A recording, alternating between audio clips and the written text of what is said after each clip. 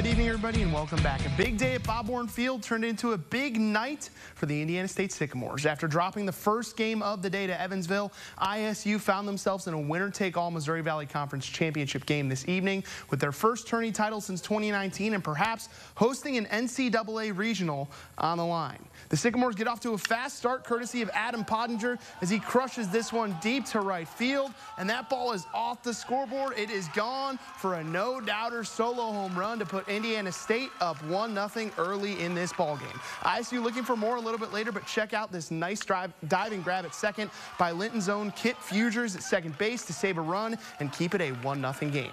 Cam Edmonson came on in relief and was terrific on the mound as he gets the swinging strikeout to end the inning.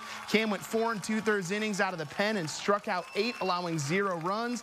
The Sycamores would add to their lead in the eighth inning, courtesy of the MVC Tournament Most Outstanding Player, Randall Diaz. He belts it high deep to left. That ball is long gone to make it a 2-0 Indiana State lead in this ball game. But after that first game, the two-run lead didn't feel safe enough, so ISU knew that they needed to get some insurance runs in the ninth, and they do just that as Parker Stinson steps to the dish with the bases loaded, lines it deep to left. It's past the Evansville left fielder. Three runs are going to come across the score on the bases clearing double to extend the Sycamore lead to 5-0. And a fitting end to this great pitch game is a Cam Edmonson strikeout to end it. The Indiana State Sycamores are your 2023 Missouri Valley Conference regular season and tournament champions as they beat Evansville 6-0. ISU officially punches their ticket to the NCAA tournament, and we'll find out if they're hosting a regional and their first round opponent on Monday.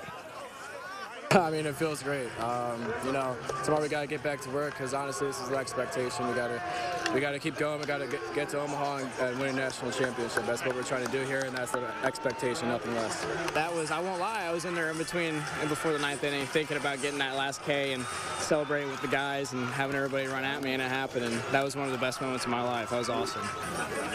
Playing here all season and the crowd they're loyal, but to see Bob Warren filled like this and the energy, nothing beats it. The crowd erupting after that last out was an unbeatable feeling. I mean, it's awesome. Man, I, I, I saw like Twitter, everybody, everywhere, like people talking about us. But like we keep playing like an underdog, you know.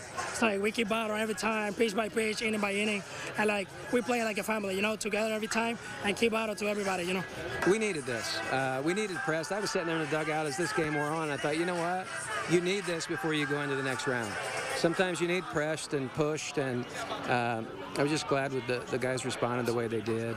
I, I know the last month has been hard on them. We've been in a no-lose scenario with the RPI and trying to trying to stay where we're at. And I, I'm not going to say it hasn't been stressful. It's a grind, but they have they have been resilient and responded and done a heck of a job to get us to this point.